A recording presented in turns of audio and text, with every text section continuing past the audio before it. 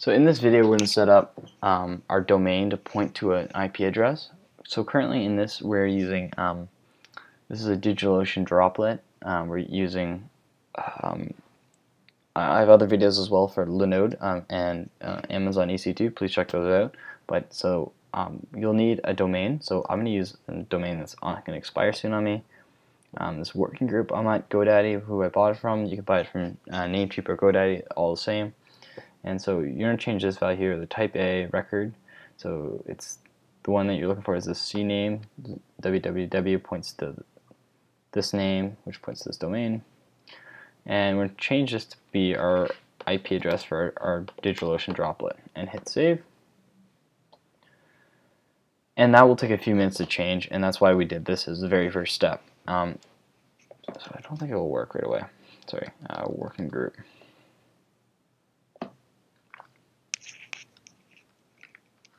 Yeah, see, as you can see right now, it's just kind of trying to find, um, not, uh, just trying to find the actual, like, previous uh, uh, server I had it pointed to, so it's not going to work.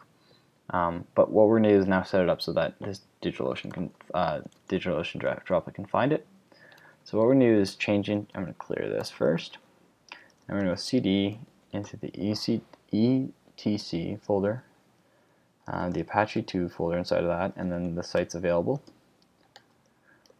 And so we're now in, the, in that folder. go ls. You're going to see that we have two config files. If you want to set multiple domain, domains, just create multiple config files. But we only want do one domain, so we don't need multiple. Um, so this is our config file. Um, server name is the domain that we're going to use. Server admin is the email associated with the website. Document root is where the files sit error log, custom log, or where they print uh, errors. So if you get any of those, just look into those files. It's really awesome, but a lot of people don't do that. So first thing we're going to do is, I'm going to delete this. I'm not deleting it, but I'm just going to comment it out. Server name, and then I'm going to make my server name um, workinggroup.com, and then server's alias is www.workinggroup.com. And I've set it up so that the Git repo is sitting in the HTML folder, so I wanted to point there. Um, a couple other things. I'm going to add um, allow overwrite, but I don't think I'm going to do that right now. Um, and I'm going to save this by, I'm in Nano, so it's Control O, enter, and then exit.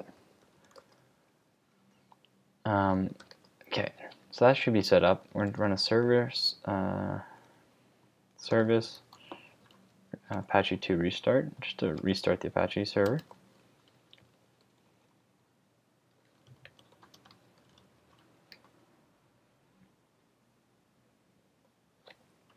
And there it gets working. And so now if this domain eventually points to this domain, this domain eventually points to the proper server, it should be able to accept um, it as, it, it will look the exact same as this. So it might take some time. Um, I'll leave this for a bit. Okay, so I'm trying to refresh this. As you can see, it says HTTPS. Um, I want to be HTTP, but so I used the same exact example for the Linode. I did that previously to this one, so that's why it's not working. So if I just open up an incognito window, um, it doesn't have the same cached values. So if I go enter, um, it now says hello from GitHub, and then I'm going to switch back over to my other window and change this from GitHub um, with DigitalOcean on um, this domain here. And save that. Um, do my git pull. Nope, not in the right directory. There now I am. Git pull makes the updates, and then back over my incognito and refresh the page it, it's all updated. So now the domains are all set up um, to point at the right server. So please subscribe to my channel. If you like this video, please like it. Um, if you have any questions, please comment. I try to get back to you as quickly as possible. Um, yeah, thanks.